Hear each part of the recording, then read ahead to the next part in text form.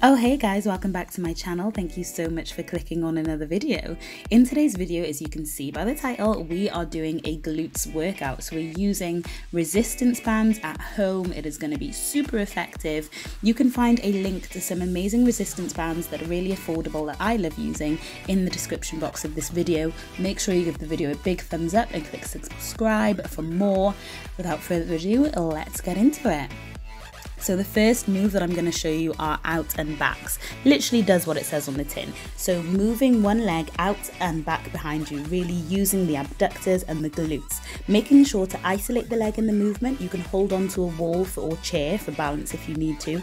Just really staying nice and still, feeling that resistance.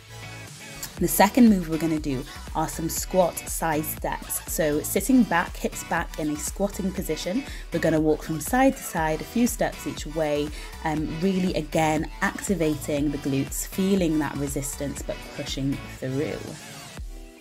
Then we're going to do some bent leg raises. So again, um, using one leg, so standing on one leg, uh, you can hold on to something to balance if you need to. You're just going to really push that leg out to the side, really squeezing the glutes to get past the resistance of the band.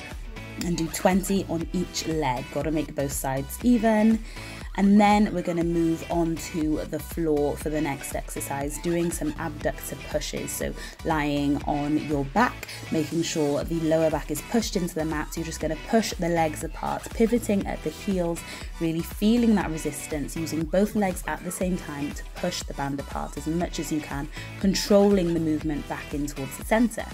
Then we're going to keep our feet together and we're going to go into wide knee hip raises, squeezing the glutes, pushing up so that your body is in a straight line from shoulder to hip to knee, making sure that your core is nice and engaged and repeat the circuit three times. Thank you so much for watching you guys. Make sure that you subscribe for more videos. Let me know in the comments how you find this. I will see you in my next video. Love you. Bye.